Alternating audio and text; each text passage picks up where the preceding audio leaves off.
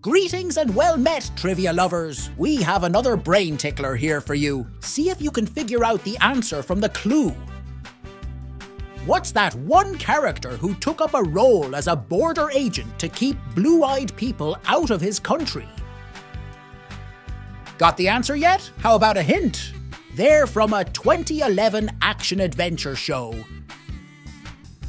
Still stumped? How about another hint? Dire Wolf. I'm going to reveal the answer in five seconds. Five, four, three, two, one. Oh, that's right. It was Jon Snow from Game of Thrones. So, how did you do? Solve it without a hint? Find cards like this and more in our newest game called What's That One? Available now on dynamicgorilla.com. See you next time, trivia lovers!